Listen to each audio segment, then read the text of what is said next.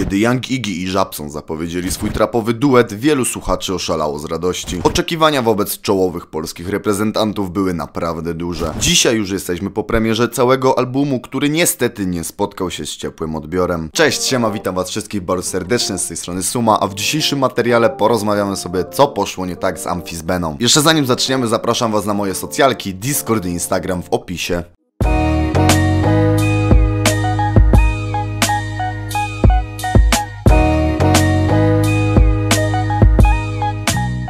Kiedy samemu usłyszałem, że Żaba i Iggy robią wspólnie trapowy album, myślałem, że co najmniej odniesie to taki sukces jak Ojo, albo nawet i większy. Po zapowiedzi otrzymaliśmy 8 utworów, ponieważ było to takie niestandardowe wydawnictwo, bo najpierw dostaliśmy 8 utworów, a jakoś miesiąc albo dłużej Później otrzymaliśmy kolejne 8 utworów. No i już po pierwszych 8 wiedziałem, że coś jest nie tak. Coś, coś się nie kleiło, bo były naprawdę dobre utwory, jak Ziemia na Barsie, które wciągało swoim refrenem, no ale reszta reszta. Natomiast opinie po premierze pierwszych ośmiu utworów, no, były naprawdę nieprzychylne. No i wtedy panowie postanowili poinformować, chyba tam konkretniej Żabson, że no teraz to może faktycznie wam się nie podoba, ale kolejne osiem utworów to rozje...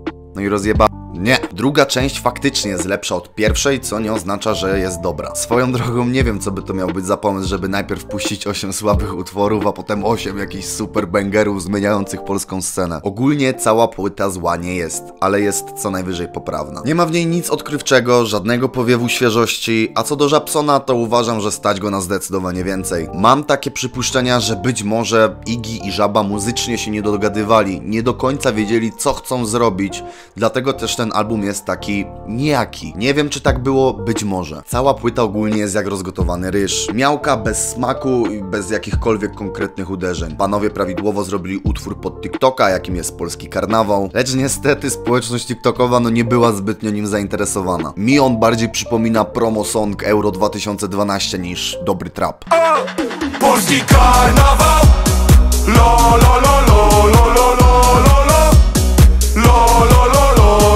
Wydaje mi się, że jednak największym problemem było zderzenie się z bańką ogromnego hypu i wielkich oczekiwań. Bardzo dużo ludzi myślało, że Iggy w formie po Ojo, które osiągnęło ogromny sukces i Żabson jako jeden z najlepszych trapowców w Polsce, muzycznie oboje muszą rozjebać. Być może po prostu oczekiwania były za duże, albo zderzamy się ze ścianą powiewu świeżości. Oczekujemy tego, że album artysty zawsze będzie odkrywczy, świeży, dający powiew po prostu nowości, ale nie zawsze tak jest. Jednakże panowie nam zaprezentowali no niezbyt odkrywczy album. Jak najbardziej poprawny, ale nie odkrywczy. Szkoda, bo naprawdę myślałem, że będę miał do czego skakać resztę roku, a na ten moment to wygląda na płytę do przesłuchania naraz i odłożenia na półkę. Dajcie znać, co wy uważacie o tym albumie. Ja wam bardzo dziękuję za dzisiaj. Szczególne podziękowania dla, dla wszystkich moich widzów. Zapraszam jeszcze raz na Discorda. Dzięki, na razie, cześć.